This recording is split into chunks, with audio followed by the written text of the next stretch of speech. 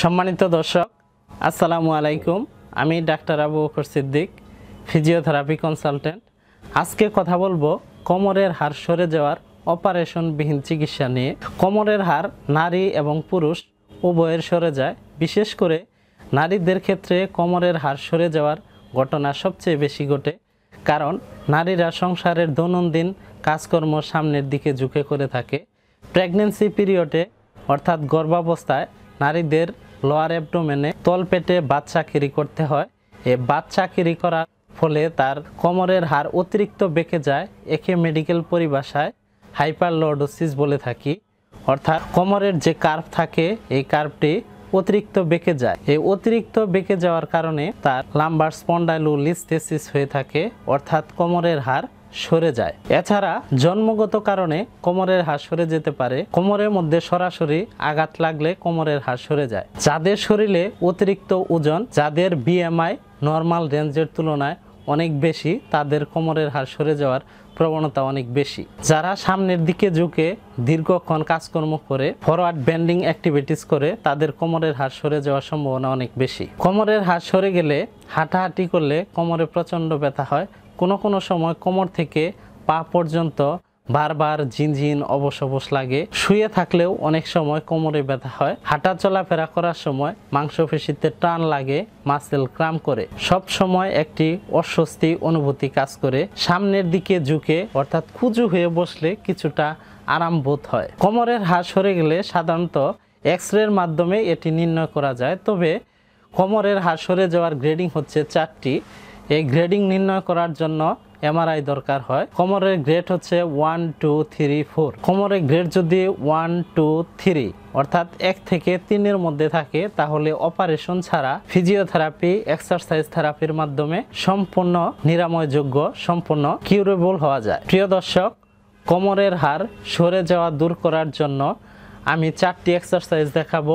এই চারটি এক্সারসাইজ যদি আপনারা নিয়মিত করেন এবং এই এক্সারসাইজের পাশাপাশি যদি ফিজিওথেরাপি চিকিৎসা নেন, তাহলে অপারেশন ছাড়াই কোমরের হাড় সরে যাওয়ার সমস্যা দূর করতে পারবেন ইনশাল্লাহ। এক্সারসাইজ নাম্বার ওয়ান জাস্ট এরকম পজিশন নেবেন, নিয়ে আমাদের যে বাটক, এই বাটকটা আমরা টেনে উপরের দিকে আনব জাস্ট এরকম একটা মুভমেন্ট হবে জাস্ট লাইক দিস এই দেখেন, বাটকের এখানে উঁচু হয়ে গেছে, এভাবে আমরা দশ সেকেন্ড হোল্ড করব। তারপর আস্তে আস্তে আমাদের বেড টাচ করব, আবার এরকম করে টেন সেকেন্ড হোল্ড করব। এই এক্সারসাইজটা কমপক্ষে টেন রিপিটেশন করতে হবে এবং টেন সেকেন্ড হোল্ড করতে হবে three times daily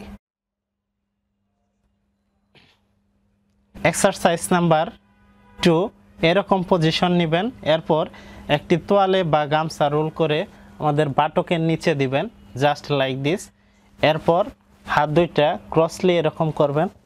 করে এদিকে উঠে দশ সেকেন্ড হোল্ড করবেন। Just like this.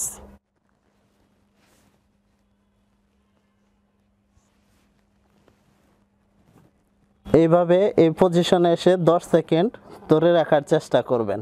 যদি দশ সেকেন্ড না পারেন, তাহলে কমপক্ষে পাঁচ সেকেন্ড ধরে রাখবেন। এইভাবে কমপক্ষে টেন রিপিটেশন করবেন। এক্সারসাইজ নাম্বার থ্রি এরকম পজিশন নিয়ে আমাদের পাটা অপর হাঁটুর উপরে দিয়ে এভাবে টান দিয়ে ধরতে হবে। টান দিয়ে ধরে কমপক্ষে দশ থেকে পনেরো সেকেন্ড ধরে রাখবেন। জাস্ট লাইক দিস এভাবে ten repetition three times daily এক পা হয়ে গেলে আবার অপর পায়ে সেম একইভাবে করবেন।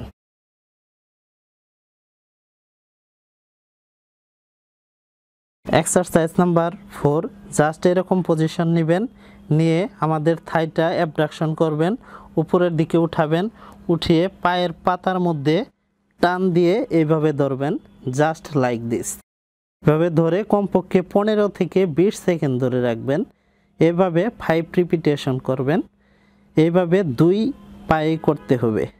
এটা করলে আমাদের যে থাই মাসেল রয়েছে, এটি স্ট্রেচিং হবে এবং অ্যাবডোমিনাল মাসেল স্ট্রেচিং হবে ইলিওসোয়াস মাসেল স্ট্রেচিং হবে, এর ফলে অ্যান্টেরিয়র পিলভিক টিল্ট দূর হয়ে যাবে।